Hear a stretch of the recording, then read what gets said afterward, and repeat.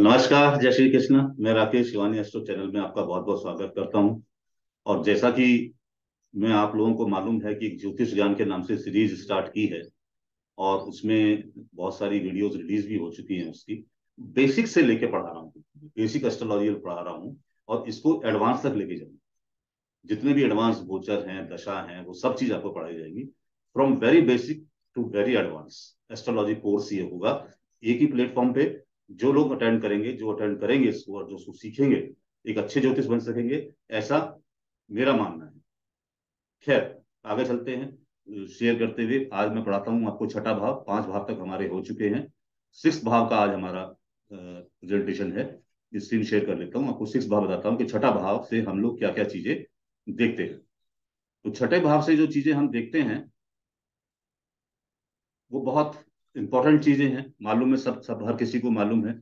अच्छा एक चीज़ इसमें यह भी देखिए कि कोई भी भाव आपका या कोई भी भाव है, वो अच्छा या बुरा नहीं होता। लोग नॉर्मली कहते हैं कि छठा भाव बुरा भाव है, आठवां भाव बुरा भाव है, लेकिन उनके भी कुछ पॉजिटिव चीज़ें होती है उनसे। तो कोई भी भाव बहुत अच्छा या बहुत बुरा नहीं होता। हर भाव में कुछ ना कुछ अच्छाइयाँ और कुछ ना कुछ बुराइयाँ होती है चाहे कोई सा भाव हो छठे भाव से हम क्या देखते हैं?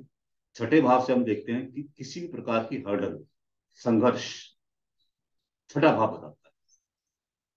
किसी प्रकार का भी संघर्ष जो है, वो छठा भाव बताता है। यानी अगर लग्नेश आपका छठे भाव में चला गया तो आपको लाइफ लॉन्ग संघर्ष रहता है, ऐसा कहा जा सकता है।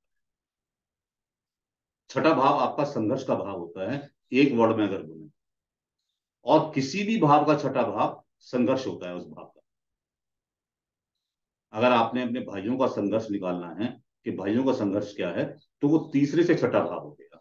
वो रिलेशन कैसे होते हैं भावों के मैं आपको आगे बताऊँगा, लेकिन आप ये ध्यान रखिए कि लगन से छठा भाव संघर्ष का भाव होता है।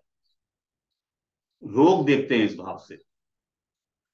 नाम तो इसका वैसे रोग, ऋण, रिपु है। इस भाव से रोग भी देखते हैं। आदमी कितना कर्जा लेता है या कितना कर्जा उसको लेना पड़ेगा, कितना डेप्थ लेना पड़ेगा उसको, वो भी इसी से देखते हैं। आदमी के आंतरिक दुश्मन कौन है? बाहरी दुश्मन कौन है? एनिमीज कौन है आदमी के? आंतरिक भी और बाहरी भी। दुश्मन कौन है? वो भी छठे भाव से देखे जाते हैं। छठे भाव से मामा को भी देखते हैं। मामा की बात करते हैं छठे भाव से। रिश्वत लेना या देना, ये भी छठे भाव से देखा जाता है। लिटिगेशन यानी मुकदमेबाजी, जो भी मुकदमेबाजी होती है हमारे जीवन में वो छठे भाव में देखी जाती है छठे भाव से। छठा भाव होगा एक्टिव होगा तो कुछ ना कुछ लिटिगेशन हो सकता है कुछ ना कुछ मुकदमेबाजी हो सकती है।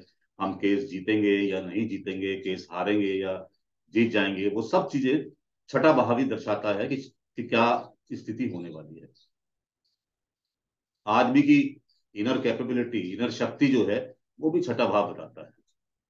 सबसे इंपॉर्टेंट चीज़ है ये तो मैंने बताया आपको कि कुछ ऐसी चीज़ें जो नेगेटिव हैं लेकिन पॉजिटिव चीज़ भी देखें तो उसमें आदमी की इनर कैपेबिलिटी हो गई।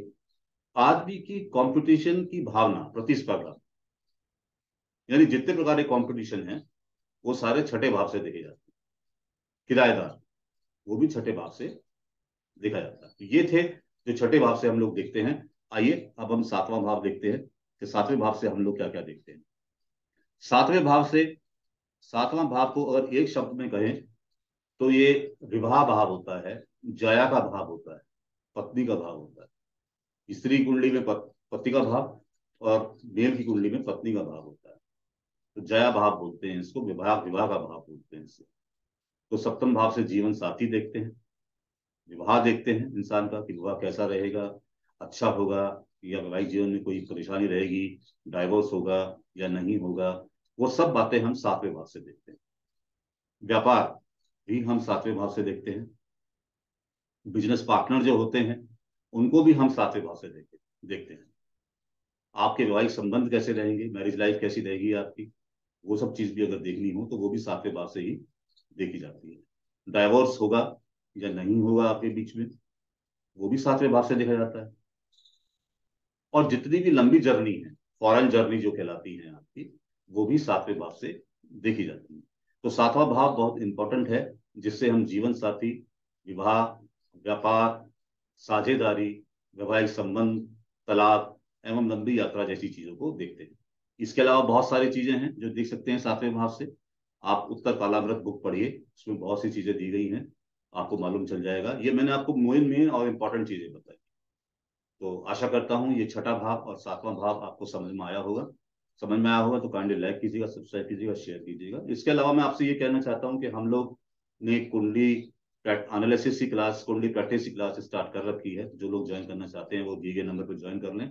और इसके अतिरिक्त एक एडवांस एस्ट्रोलॉजी कोर्स हम लोग करा रहे हैं from very basics to very advance जो लोग भी इंटरेस्टेड हैं, उसको ज्वाइन कर सकते हैं, दिए गए नंबर पर संपर्क करके। धन्यवाद। जय श्री कृष्ण। नमस्कार।